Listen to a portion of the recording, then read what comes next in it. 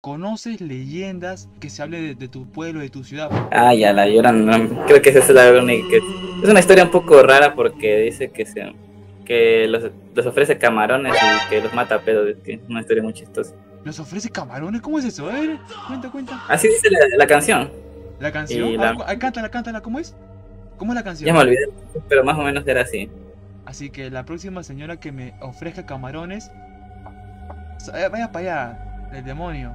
Es que más o menos la llorona siempre se, se bebaba a los niños malcriados Eso y les ofrecía con ¿Y les ofrecía qué? camarones.